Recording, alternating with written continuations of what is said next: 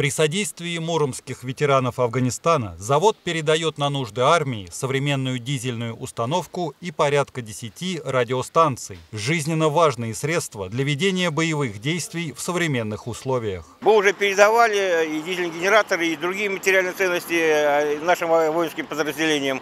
Э, к сожалению, в нынешней технологической войне все эти вещи, даже такие, э, как дизельные генераторы и рации, становятся расходным материалом так как э, довольно-таки серьезно выросла огневая мощь с обоих сторон. Э, в течение года 23-го э, наша организация уже передала нашим воинским частям и, генератор передавали дизельный, и много инструмента для того, чтобы работать, для оборудования землянки и материалов для оборудования землянок. Это и пилы, это утеплительные материалы, ну и провода, что только не было, ну и плюс продукты и медикаменты. Муромский завод трубопроводной арматуры уже неоднократно оказывал помощь военным и мобилизованным, которые сейчас находятся в зоне проведения специальной военной операции. Всем бойцам здоровья, только побед.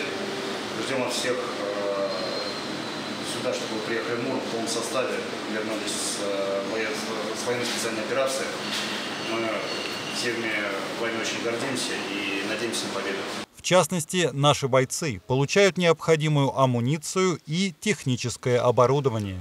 Сегодня мы передаем очередную часть э, гуманитарного груза для наших земляков, понтонеров, которые э, также находятся в зоне специальной военной операции. Мы ждем их всех с победой, верим в нее, надеемся и с своей стороны будем продолжать также помогать по мере возможности, сил, средств. Ну, надеемся, что все будет у нас хорошо.